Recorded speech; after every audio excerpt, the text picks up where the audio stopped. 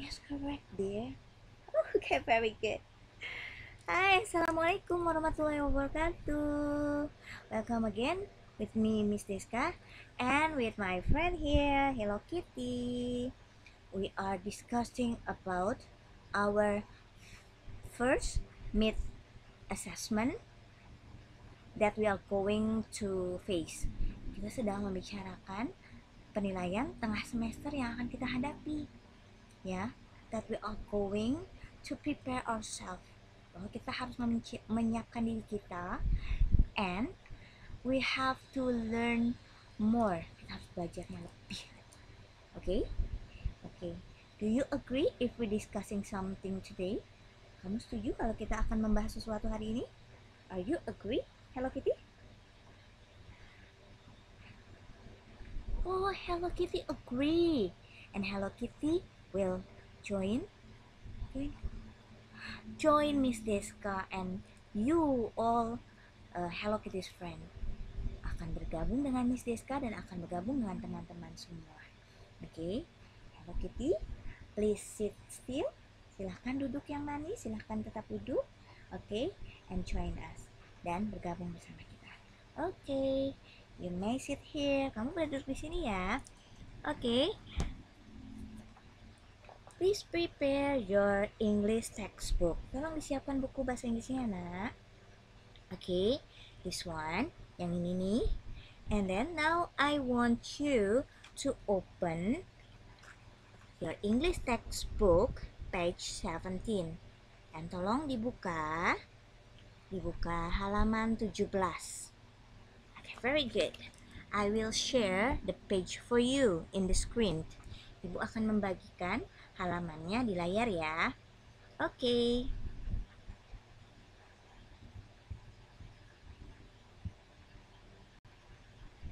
Oke, okay, this is page 17. Ini adalah halaman 17. On this page, di halaman ini, we are going to discuss about uh, activities ya tentang aktivitas and how to uh, state the the activities. Lalu bagaimana kita menyampaikan aktivitas tersebut. And we are going to use simple present tense. Dan kita akan menggunakan simple present tense. Apa sih itu simple present tense? Simple present tense adalah tata bahasa atau grammar yang pemakaiannya adalah untuk menyampaikan fakta dan rutinitas. Oke, okay? simple present tense is a grammar that the usage if is for uh, stating about the facts, menyatakan tentang fakta and routines atau rutinitas. Formula atau rumusnya adalah subject plus verb one. Subject plus verb one. Subjek ini orang yang sedang membicarakan dan kata kerja bentuk pertama. Verb one atau infinitive. Oke, subjek dibagi menjadi dua ya. Subjek tunggal yang ini termasuk di dalamnya ini I. Ini subjek tunggal atau singular subject. And plural subjek atau dan uh, subjek jamak. Ibu ulang kembali ya. Singular subject, subjek tunggal dan plural subject, subjek jamak. Oke. Untuk subjek yang ini I will they you diikuti kata kerja bentuk pertama yaitu contohnya we go kata kerja bentuk pertama Sedangkan untuk subjek she, he, it atau nama orang cuma satu, maka di, diikuti kata kerja bentuk pertama ditambah s atau es. Contohnya ada di sini. One of the pools salah satu dari karena ini jumlahnya satu, maka kata kerja bentuk pertamanya ditambahkan s. Berbeda dengan kata we We di sini seperti sudah dicontohkan di atas sama Miss Deska, untuk subjek we cukup diikuti kata kerja bentuk pertama tanpa tambahan s atau es. Ini adalah simple present tense. menyatakan fakta atau rutinitas. Ya. Lalu ciri lain daripada simple present tense jika kalimatnya adalah kalimat tanpa kata kerja atau kalimat nominal atau nominal sentence, maka cirinya adalah dia akan terdapat to be. To be dalam simple present tense adalah is, am, eh sorry, is, am, dan are. I repeat again, ibu ulang lagi. Ciri dari simple present tense, if uh, the sentence without uh, the the original verb, jika di dalamnya tidak ada uh, kata kerja asli, tapi di diberikan kata kerja bantu atau auxiliary, maka cirinya atau auxiliary-nya adalah am, is, dan are. Am digunakan jika subjeknya adalah I is jika subjeknya adalah she, he, atau it atau nama orang satu. Are digunakan untuk subjek we, they, you atau orang namanya lebih dari satu. Oke. Okay. In the in the English lesson dalam pembelajaran bahasa Inggris, you will see text. Kamu akan melihat teks and you have to answer the following question based on the text. Lalu akan ada pertanyaan, beberapa pertanyaan yang berdasarkan teks tersebut. Oke, okay? I hope you understand. Very good, dear. I love your spirit. Ibu suka banget semangat kalian. Oke, okay? let's go to the next slide. Yuk ke slide berikutnya yuk. Now I want you to open page 19. Sekarang dibuka halaman 19 ya. On this page, di halaman ini, we are going to talk about what people normally say when they first meet. Apa yang normalnya diucapkan orang saat pertama kali bertemu? Apa kira-kira ya? Yes, very good. Greeting. Ya, dia akan menyapa. Seperti ini contohnya. Hi, it's Pablo. Or hi, I'm Pablo. Atau menanyakan kabar. Hi, how are you? Hi, how are you? Apa kabarmu? Atau menanyakan kamu siapa? Hi, who are you? Hi, who are you? Oke, okay. atau menanyakan dari mana asalmu? Ya, untuk menanyakan dari mana asalmu ada uh, ungkapan seperti ini. Where are you? Where are you? Dari mana kamu? Where are you from? Where are you from? Dari mana asalmu? atau bisa dengan ungkapan yang bisa menyenangkan hati orang lain bahwa kita senang bertemu dengan orang tersebut. You are nice. Nice to meet you. Senang sekali bertemu dengan Anda. Anda baik sekali. Yes, this is what people normally say when they first meet. Ini adalah apa yang normalnya diucapkan orang saat pertama kali bertemu. Oke, okay? now I want you repeat after me. Dan sekarang ibu mau kamu mengulang setelah pengucapan Miss Deska. Oke? Okay? Hi, it's Pablo. Very good. Hi, I am Pablo. Amazing. Hi, who are you? Correct. Hi, how are you? Wow. Where are you? Good. Where are you from? Amazing. You are nice. Mm. Nice to meet you. Correct. Okay? Okay, let's go to another discussion. Yuk, kita ke pembahasan berikutnya. Okay, now open page 21.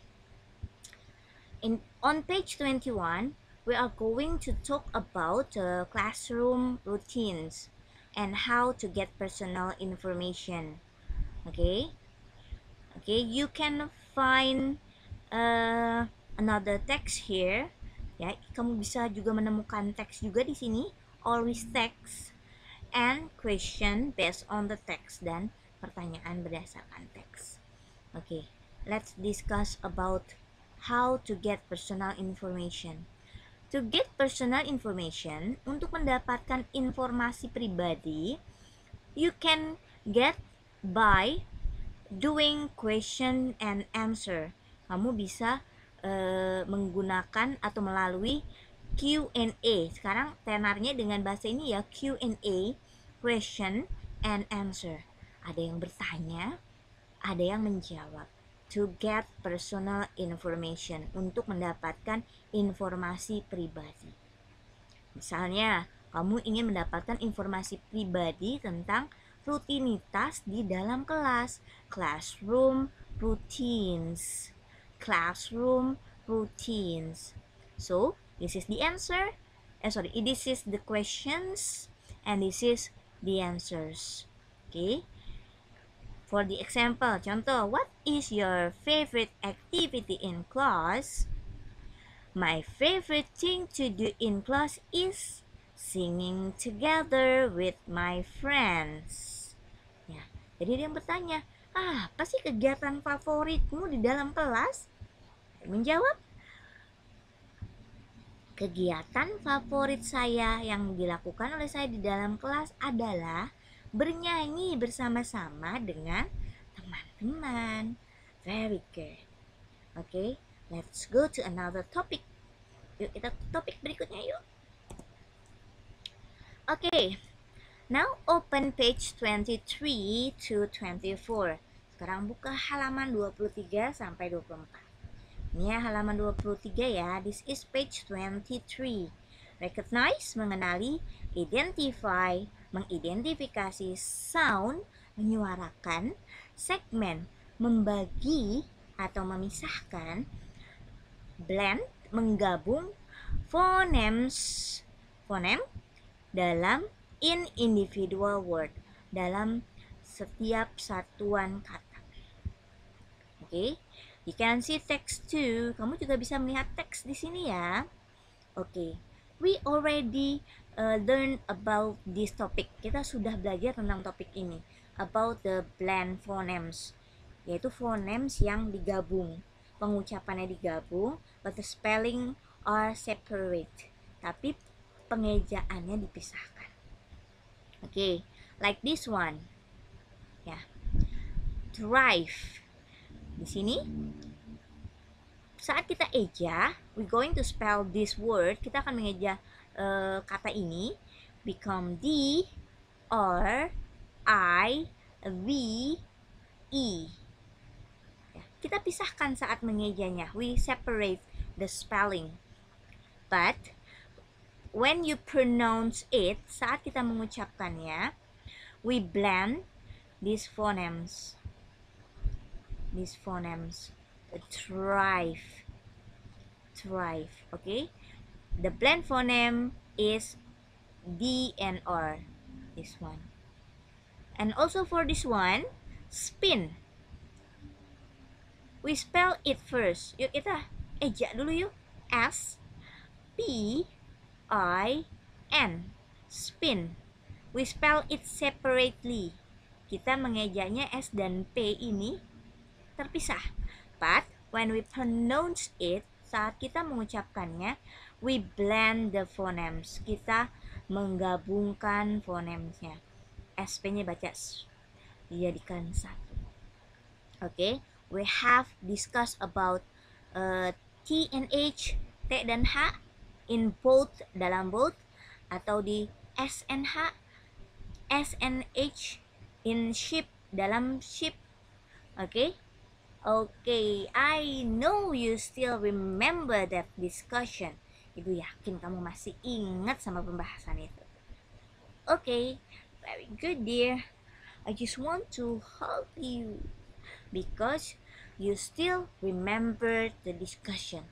Jadi pengen peluk deh kalian hebat sudah bisa masih mengingat pembahasan yang lalu.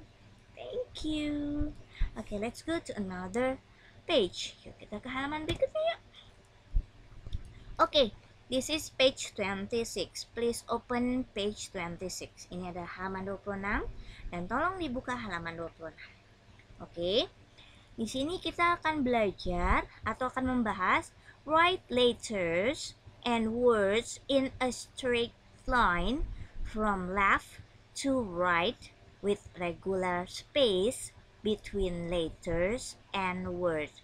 Jadi kita akan belajar menulis huruf dan kata di dalam satu garis lurus dari kiri ya. Kita nulis harus dari kiri ya. Kalau untuk bahasa Latin, kecuali bahasa Arab ya dari kanan ya. Untuk bahasa Latin kita menulisnya dari sebelah kiri ke sebelah kanan. Ya, dalam jarak spasi yang normal. Satu spasi ya. Between the words, setiap antara kata kita harus memberikan normal space. Kita memberikan uh, spasi yang normal, satu spasi. Oke. Okay? And between the letters in a word dan antara huruf di dalam kata tidak menggunakan spasi. No space. Ya, jadi ini tidak ada spasinya. B A B Y no space. But between the word tapi untuk di antara kata we give space. Kita kasih spasi. A normal or regular space. Ya.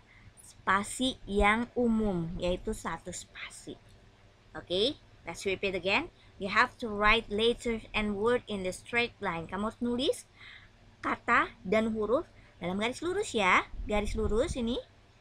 And then uh, you write it from the left to the right. Menulisnya dari kiri ke kanan and using space regular space kasih jarak yang umum yang biasa yaitu satu spasi between the word di setiap kata. Oke, okay? and between letters in a word dalam setiap huruf di sebuah kata tidak ada spasi. No space here. Oke. Okay? Oh, very good, dear. This is interesting topic to discuss, right? Ya, ini adalah pembahasan yang menarik ya. Okay, very good. Okay, let's go to the next slide. Okay, this is the last discussion. Ini pembahasan yang terakhir. Please open page 28. Tolong dibuka halaman 28. Okay.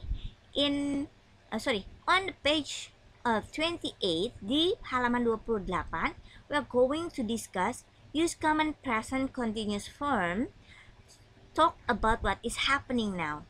Kita akan bicara tentang tenses present continuous. Ya apa sih itu? Present continuous digunakan saat menyatakan suatu kegiatan yang sekarang sedang dilakukan.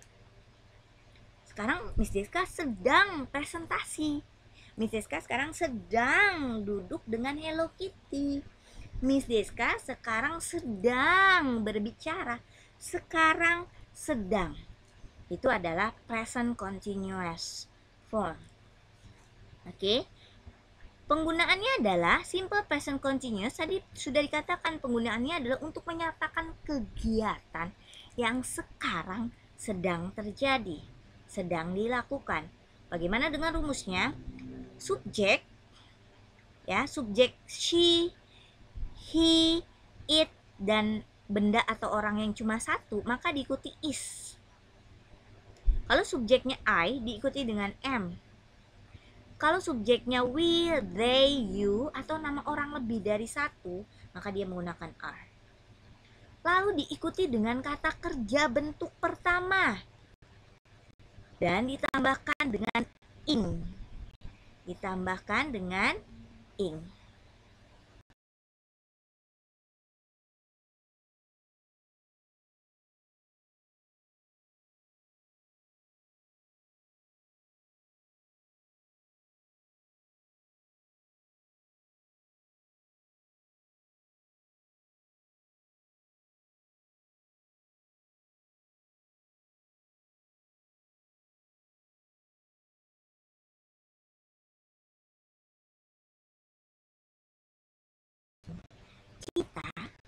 Sedang belajar. Kapan? Sekarang. I am speaking. Saya sedang bicara sekarang. She is singing. Dia sedang bernyanyi sekarang. We are studying. Kita semua sekarang ini sedang belajar. Very good. Oh, I want to hug Hello Kitty. Ibu jadi pengen peluk Hello Kitty ini. And I also want to hug you all. Dan ibu juga mau berpelukan dengan kalian semua. Are you happy? Apakah kalian senang? I hope so. Because if you're happy, you are going to love this our discussion. Karena kalau kamu senang, kalau kamu bahagia, kamu akan mencintai pelajaran kita. Oke? Okay? Hopefully you enjoy our discussion. Ibu berharap kamu menikmati uh, pembahasan kita ya. Oke? Okay? Oke. Okay. Oke. Okay. This is the end of our discussion. Ini akhir dari pembahasan kita. Okay, we end our discussion saying hamdalah. Alhamdulillahirabbil alamin. Say bye to your friend Hello Kitty. Bye. Bye. Assalamualaikum warahmatullahi wabarakatuh. Thank you Hello Kitty. See you. And for you all, see you again. Thank you for watching. Assalamualaikum warahmatullahi wabarakatuh. Give Miss Deska your love sign. Sign. Okay? And give me your heart too. And give me a long kiss. And give me your kiss bye. See you dear. Bye.